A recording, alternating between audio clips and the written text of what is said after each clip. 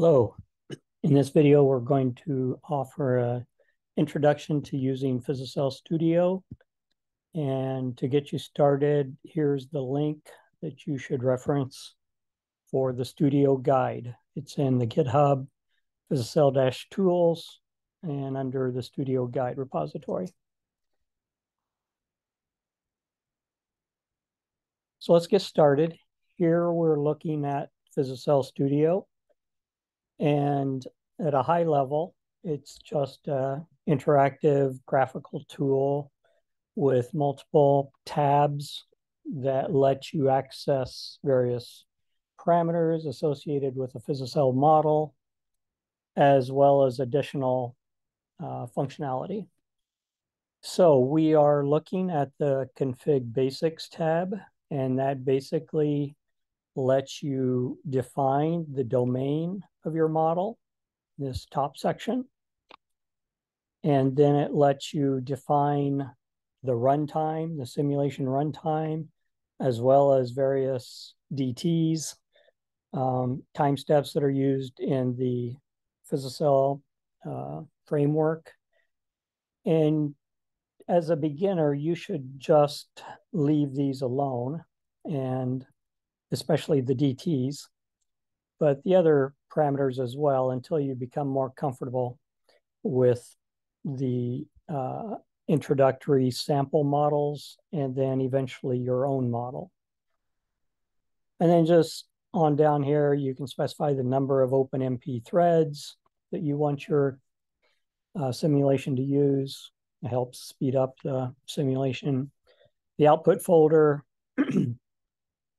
and then this uh, section defines how frequently you would like output saved, your output files. So we recommend that you keep these output intervals in sync using this checkbox. Um, and that will avoid some confusion when you start plotting.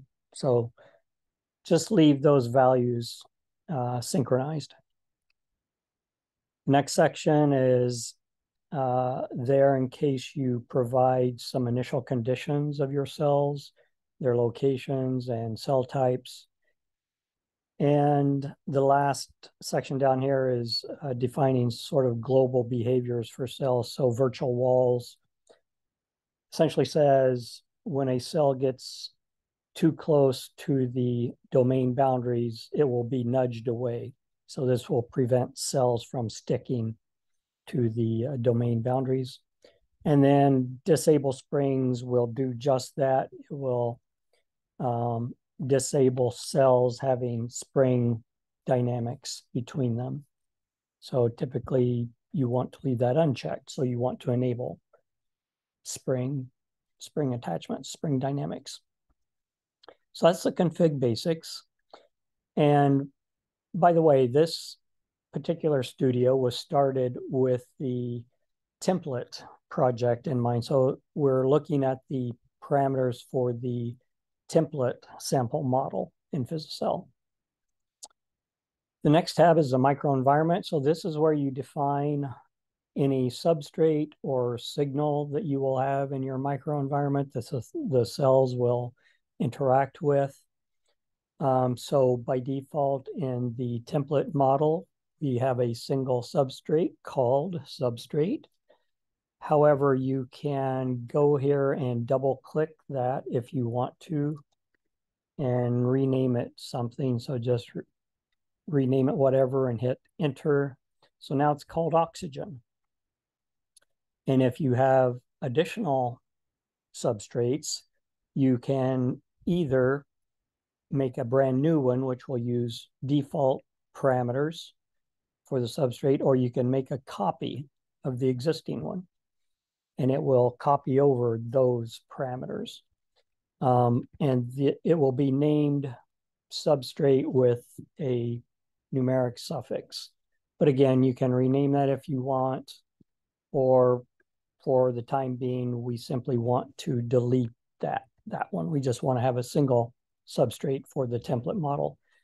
And as it turns out, um, this substrate for the template model isn't actually used for anything, at least initially. So you notice here, as far as color-coded buttons, most of the buttons you see in the studio will be colored green, um, but the yellow colored buttons simply mean warning that this is a destructive type operation. So that's all the color codes mean. So that's the microenvironment tab. The cell types is um, by far the most complex tab as far as parameters. And the reason for that is because one, it's where the cell types will de be defined, but it's also where the phenotype for each cell type is defined. So all of these subtabs here uh, let you define those cell type phenotypes. So here we're looking at the cell cycle, and you can select from predefined cycle types. Here it's using flow cytometry separated for the template model, and then all the relevant parameters for that particular cell cycle. And if, if we would change to a different one, we would see these, you know, options for the parameters change, but we'll leave it what it was. and so we could step across here. We will step across very briefly these various uh, subtabs and look at the phenotype, but just as we could for the microenvironment, we can also redefine, um, you know, the cell type name. If I can spell, and we'll call it cancer cell. So, and similarly, you can create a new cell type. You can create a copy of the existing cell type of the selected cell type. Um, so stepping across here, here's the death uh, parameters. And notice there's two types of death, apoptosis and necrosis. And by the way, this video is primarily just to show the mechanics of how you use the studio. The details of all of these parameters are best learned by you by reading the uh, PhysiCell user guide itself. Um, so here we're going to keep it quite brief, but the volume subtab simply defines the volume, you know, total volume of that cell type, as well as other parameters. Mechanics, how do cells uh, behave mechanically amongst themselves and amongst other cell types. So notice here, we uh, see that this one is gut cancer cell, had we defined a second uh, cell type, it would also appear in this drop-down box. But we don't, we just have one. Uh, motility are cells allowed to be motile, that is move around? Are they allowed to chemotax?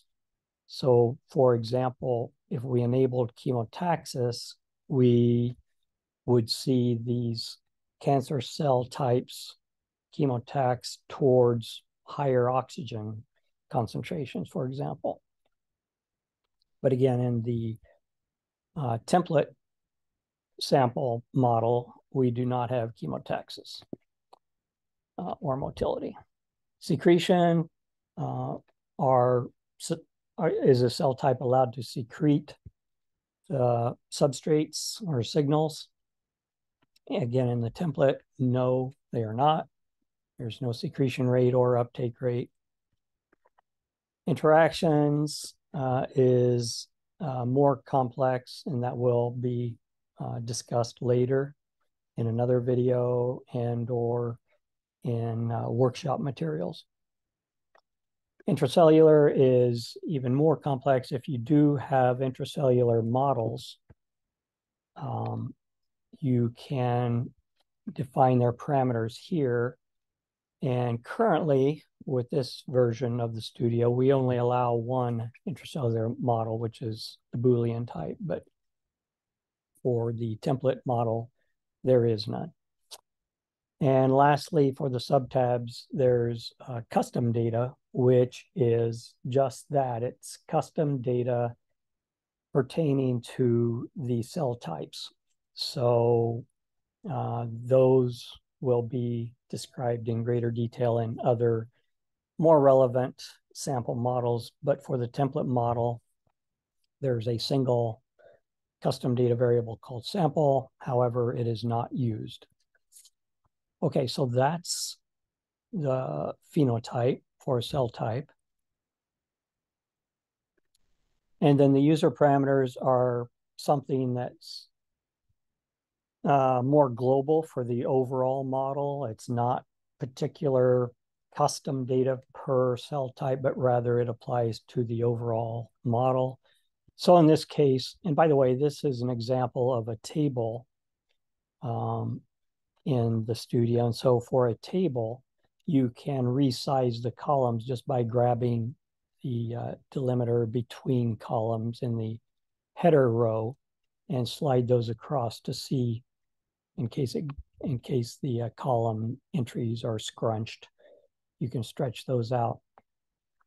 So it's fairly common to see a user parameter called random seed, which is used for the various random number generator uh, values used in simulations. And the number of cells is a relevant user parameter for the template model because it will define at startup, at initialization, this number five of uh, the different cell types. So since we only had one cell type, there will only be five to start with.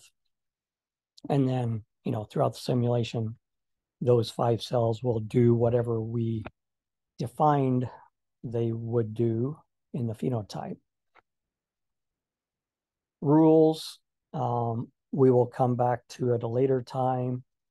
Um, they provide very powerful and elegant ways to define uh, cell behaviors based on signals. Initial conditions is uh, just a relatively simple way to let you define initial conditions for your cells. So here, we since we only have one cell type, that's all that we can define. But basically, uh, you are allowed to select one of however many, currently three different types of geometry that you want your initial conditions to be defined in an annulus or a disc, a box, or a ring. And I won't illustrate each one, but let's just go with annulus and disc. And over here, the choices of how those regions will be filled are one of two types currently, either randomly or hex filled, so a hex packing. Um, so if we just click um, plot, we will see random cells in an annulus whose inner radius is 50, defined there, and whose outer radius is 200. So if we didn't like that, you can say undo the last one. If you want to make it, uh, I don't know, 300. If you want to make it a total um, disk instead of an annul annulus, you would make the inner radius zero. And oh, I had a random fill. So if you undo that and then go with a hex fill and then do a plot, then we see that we can create a disk of hexagonally filled cancer cells. And so you can play around with the initial conditions. And then you would, of course, want to save those um, into some file, a CSV file. And then after you save those into this, you know, your config directory, for example, if you want to use those, you would go back to the config basics and say enable. And that's what they were called was cells.csv. Um, but again, for the to demonstrate the template model with the default parameters, I am simply going to hit run and it will run project, which is the executable name of the template project. And you'll notice that we see here in the run tab, the outputs that you would normally see in your terminal if you're running PhysiCell from the command line. So it outputs every 60 minutes. And then finally, you can go over to the plot tab and you can simply hit play to see those cells uh, proliferate for one thing, because that was the cell cycle that we defined. And if you just keep hitting play, it will continue to update the plot tab with whatever the latest results are in the run. So then when you're done, you know, you've had enough, you can simply cancel that if you want, or let it run to completion. And then you can come back here and run. And we will keep it simple and stop at that for now, but there's a lot more related to just plotting, which will be uh, demonstrated at another time. Thank you.